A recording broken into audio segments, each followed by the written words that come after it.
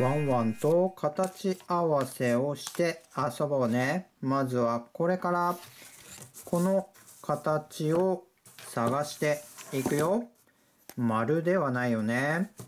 四角でもない。三角、三角だよね。これはここにぴったり。これが完成し、今度はこれ。気球だね。これは、どれかな？丸っこい形だよね。これ、丸。丸を合わせて、ぴったんこ。次は、これ。あ、二つのパーツだよ。こんなお家を作っていくよ。じゃあ、まずは、よいしょ。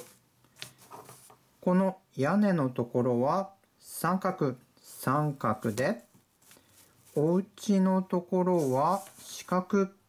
ちょっと細長い四角。これでどうかな？あ、ぴったんこ。次はこの三角、大きな三角を作るよ。三角だから、どれかな？これかな？この二つの三角を合わせて、大きな三角。あ、これで大きな三角になったね。これで完成。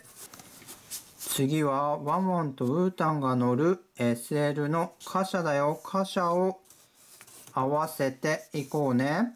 この細長い四角。この大きな四角はちょっと大きいよね。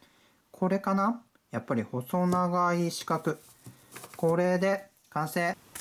次は、ワンワンとウータンがプレゼントを、プレゼントを持ってきてくれたよ。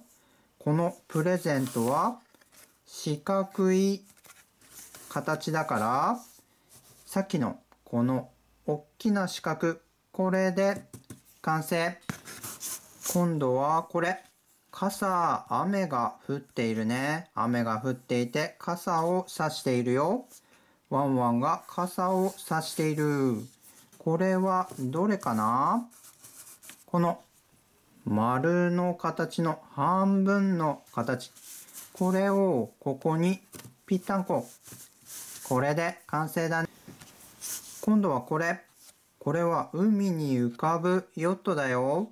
面白い形をしているね。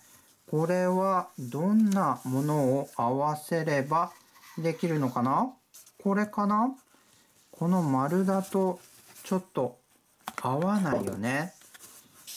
そうすると、この半分の丸、これが船のところになって、この穂の形が三角、三角だね。